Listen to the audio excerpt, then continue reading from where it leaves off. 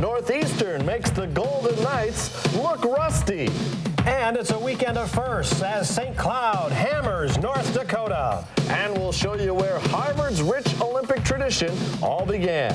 Hi, everybody. I'm Jim Rich. And I'm Frank Mazzocco. Those stories, plus the renewal of a Big Ten hockey rivalry on this week's edition of College Hockey USA on Prime Network.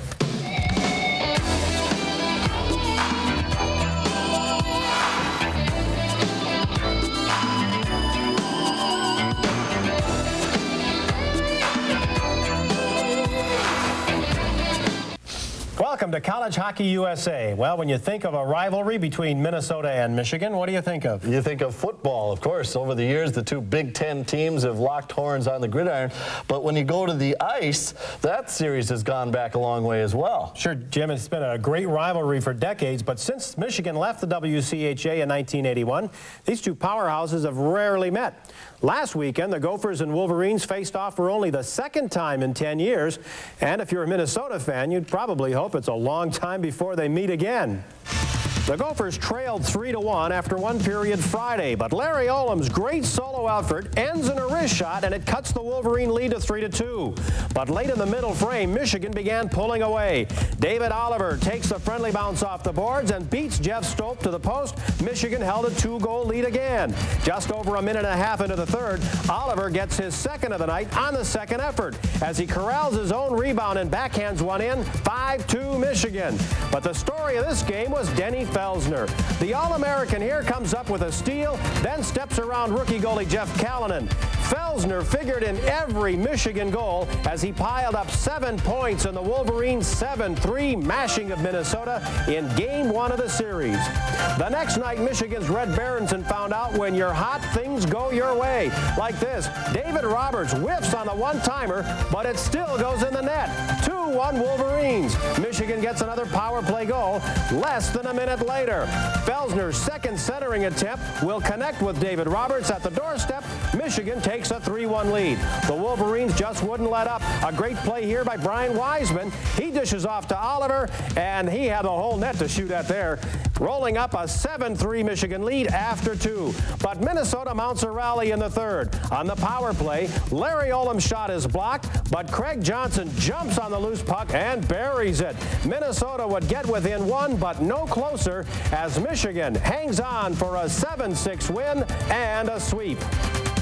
Two other schools renewing acquaintances last week were Lake Superior State and Northern Michigan. Both teams were members of the CCHA back in the late 70s, and since Northern Michigan departed for the WCHA in 1984, both programs have grown into two of the finest in the country. Last weekend, both also showed why they are two of the toughest teams in the nation to beat at home.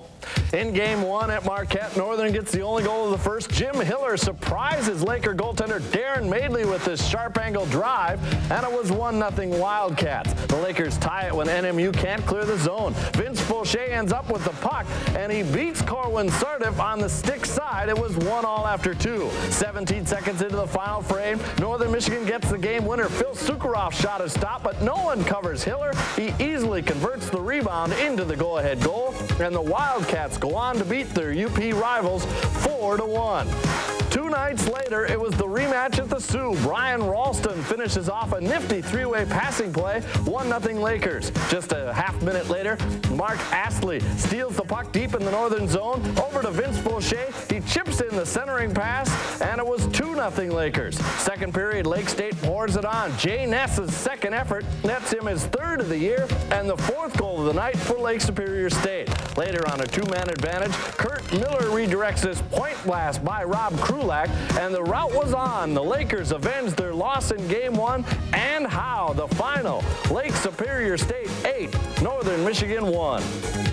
Winning on the road is difficult in any sport, including college hockey. And when it comes to road woes, no one has the blues like Jerry York and his Bowling Green Falcons. BG's road losing streak stands at a school record 16 games after a sweep at the hands of Michigan State a week ago. But in game one, the Falcons fell at home in front of a record crowd by a 6-3 count. Nicholas Perreault had a goal and two assists for State, who scored three times in the third period to snap a three-all tie. If you like goals, then game two was your game. Michigan State scores first. Rem Murray takes the pass, then decides to circle the net. He slips it to Dwayne Norris, who gets the easy one, but he paid for it. A power play goal and MSU at a 1-0 lead. Bowling Green's power play was 1 for 36 this year. Here's their 37th try. They give up a shorthanded goal by Bryan Smolinski, 4-1 Spartans. Bowling Green finally got some punch in the power play. Dan Bylsma spots Peter Holmes on the backside, one of three power play goals goals for the Falcons. The game was tied at five. Spartan fans do what? A killer cloth, but it paid off. MSU breaks the tie late in the second. Big Bob Woodard battles through two defenders and scores. MSU goes on to hand Bowling Green their 16th straight road loss, 9 to 6. Still ahead on College Hockey USA, Union College's first ever ECAC game. We'll have the highlights for you in a minute. But first, here's what's on the college hockey television menu this weekend.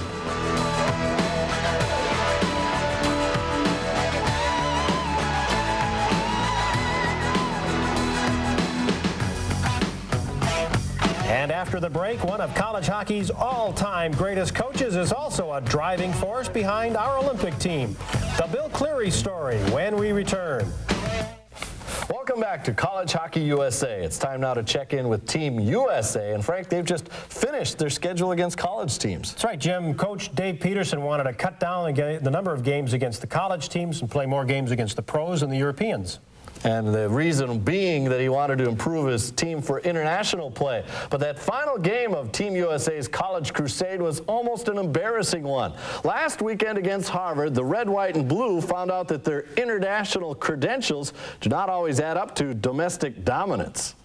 Just over two minutes into the game, USA's Jim Johannson comes in and wrists one over the shoulder of Allain Roy, 1-0 USA. Harvard erased that 2-0 deficit off the faceoff. Brad Koenig turnaround shot is wide, but Brian Farrell over to Corey Gustafson, and it was tied at two apiece. The Crimson then take the lead just 28 seconds later when Tim Burke jumps on the rebound. The power play goal gave Harvard a 3-2 lead. The game was deadlocked until the third.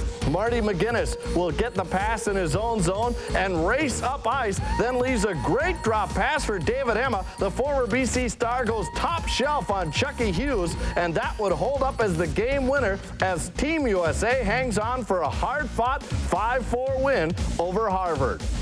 For five Team USA players, the exciting win over Harvard was a particularly satisfying one. C.J. Young, Ted Donato, Lane MacDonald, Ted Drury, and Scott Fusco all honed their skills at the Bright Center before making the leap to the national team. To have five players from one program may seem a bit surprising, but when you look at the man behind the tradition at Harvard, you'll see why this program has long been an Olympic breeding ground. College Hockey USA's Wendy Butler introduces us to the legendary Bill Bill Cleary. You're a very good college hockey player. The Olympics are coming up, and the pros are wooing you. The choice is tough, but if you went to Harvard in the last 20 years, Bill Cleary made that decision a lot easier. If you want to play pro hockey, good. Do that afterwards, but your number one goal is to play on the Olympics and I sincerely believe that. I haven't altered my position one bit, and I get stronger as the years go by. Bill Cleary speaks from experience. He turned down pro offers, enabling him to compete in the Olympics, capturing the silver in 1956 and bringing home the gold in 1960. When I look back now, you know, knowing what I know now, gosh, uh, you know, you could play in 100 Stanley Cups. It's not the equal of just marching in the parade, in the Olympic parade, which is really probably the greatest thrill that I had. The pros are something kids dream of long before they understand the significance of the Olympic Games. But give those same kids to Bill Cleary for just 10 minutes, and you'll see how infectious his enthusiasm for the Olympic Games really is. Coach Cleary loves the Olympics. I mean, from the time we come to Harvard, um, even on our recruiting trips, he always talks about the goal of each player on the Harvard team should be to play in the Olympic Games and represent their country. I think he had such a great experience in the Olympics he played that he wants all of us to have that same experience. There's a dream that any one of his players will have is to play in the Olympics, and I think he approaches his, his style of hockey that way, the way, way he coached. Um, it's all speed and skating and finesse hockey, and uh, that's the international style. I think he liked that, that experience so much that he was willing to base his whole program on that. The five Harvard players currently on Team USA are proof that this program has been very effective. And I'll tell you, we want to recruit young men that have that we think are of Olympic caliber. Because obviously if you recruit people of that caliber hockey player, and you got to, students have to go along with that in their studies, but if you recruit that type of individual, number one, you're going to be successful here in, in Harvard, and also I think you're, you're getting the type of young men that, that I, you know, I want to see playing the Olympic team, and, uh, uh, and, and knock on wood, we've had, we've had some success at it. What utopia would be for me is to see 20 Harvard kids playing the Olympic team. I know that's never going to happen, but I think that would be great. From Harvard University, this is Wendy Butler for College Hockey USA.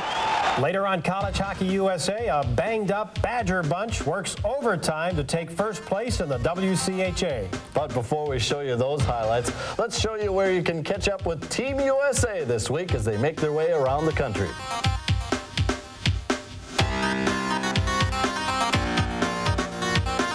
After the break, can Maine maintain their number one rating? Not if Boston College can help it. We'll have those highlights and much more after this.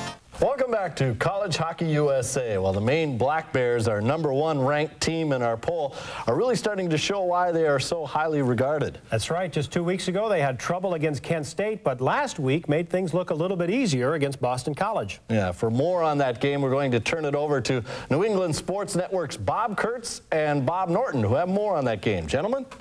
Well, thank you, Jim. We had a pretty interesting college hockey game here. Number one ranked Maine coming in. They're favored to win, of course, Hockey East. Everybody back. It's just about everybody from last year. Boston College, a young hockey team. Yeah, most of Boston College, good players playing for the U.S. Olympic team. But they played well here for the first couple of periods and into the third. But the power plays killed them. They gave up three power play goals and a 4-0 loss.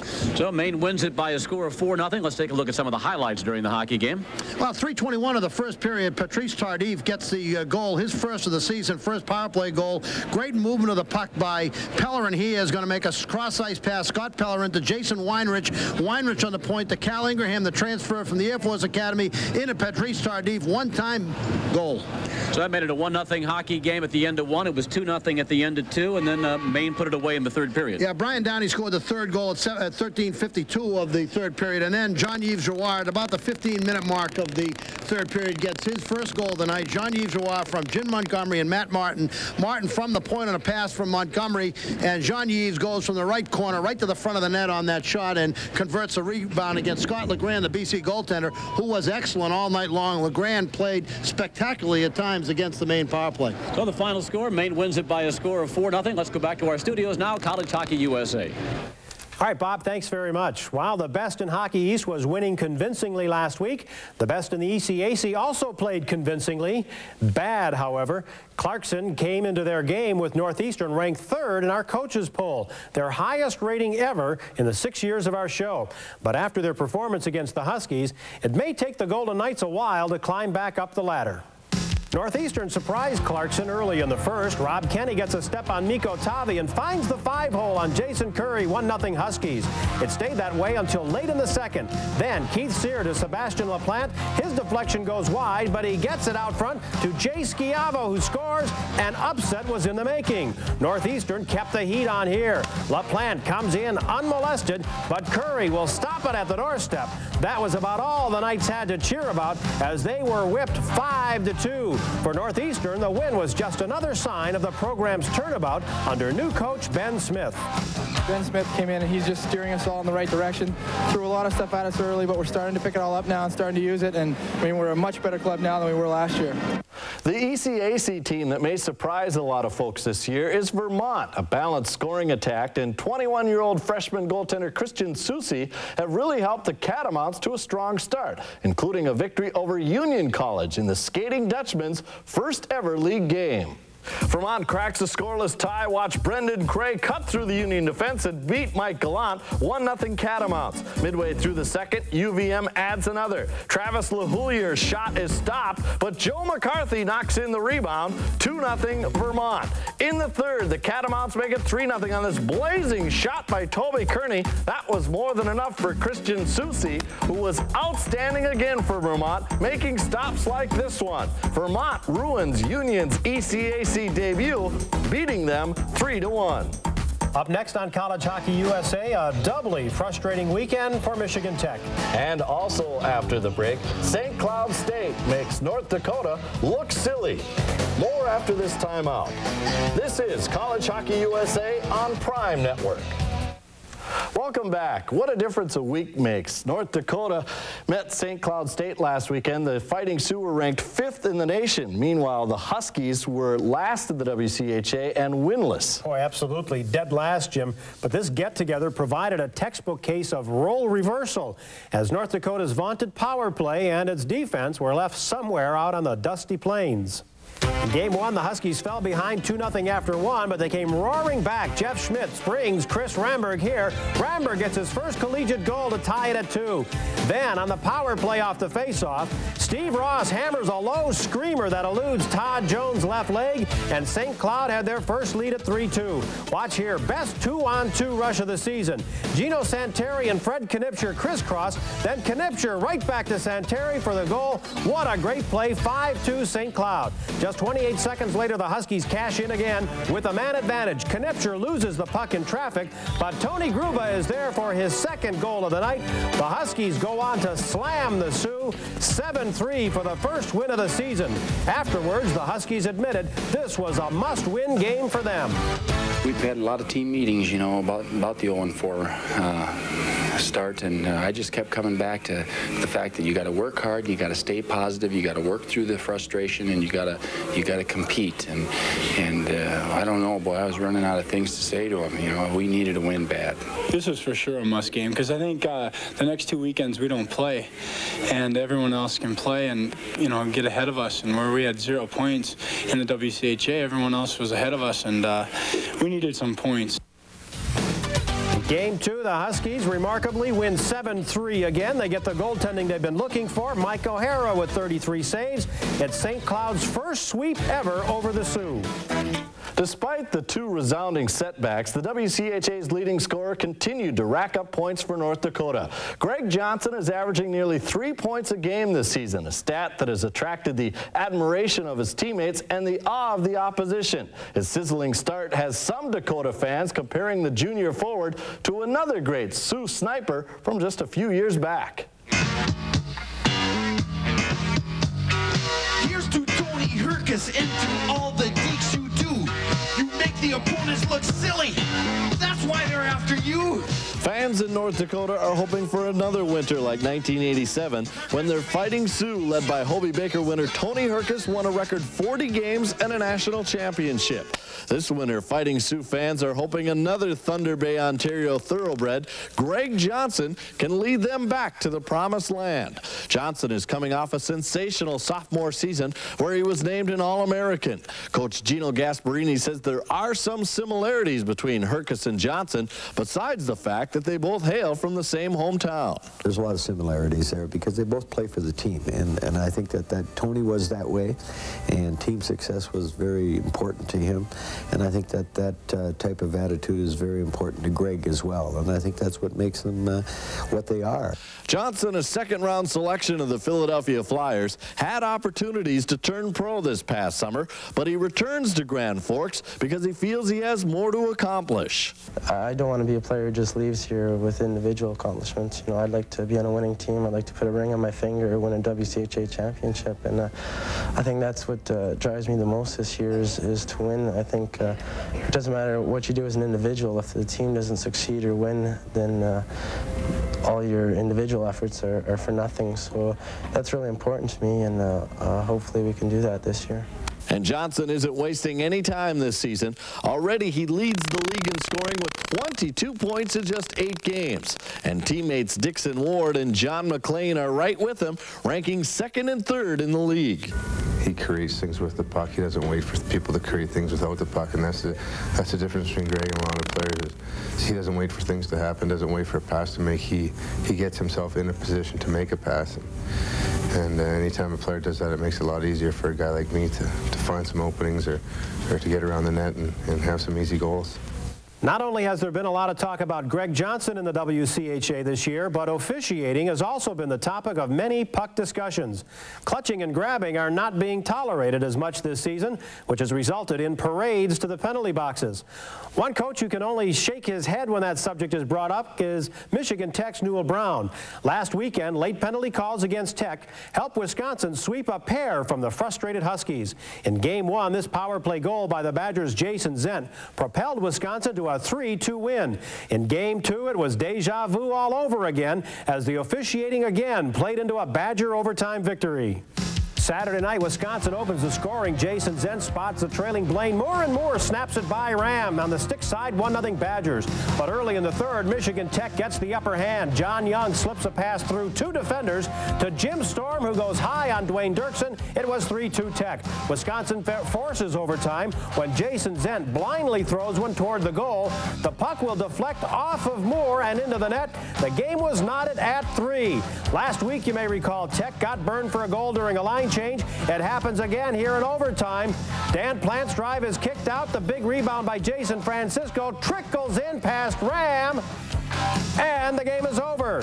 Tech coach Newell Brown can't believe it as he sees Michigan Tech lose its 17th straight at the Dane County Coliseum, 4-3 in overtime. Boy, some frustrating times for Newell Brown, to say the least. But those two wins did help Wisconsin move up in this week's College Hockey USA Coaches Poll. But we'll show you where they are in a moment. First, as always, let's start with number 10. Frank? All right, at number 10 and re-entering our poll for the first time in four weeks, St. Lawrence. Number nine is the New Hampshire Wildcats. They were there a week ago, and they're still there as they swept Notre Dame a week ago. Minnesota falls four spots after being swept by Michigan.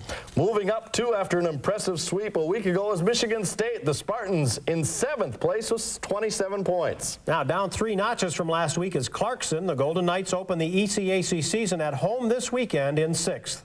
There are the Badgers. They are number five this week.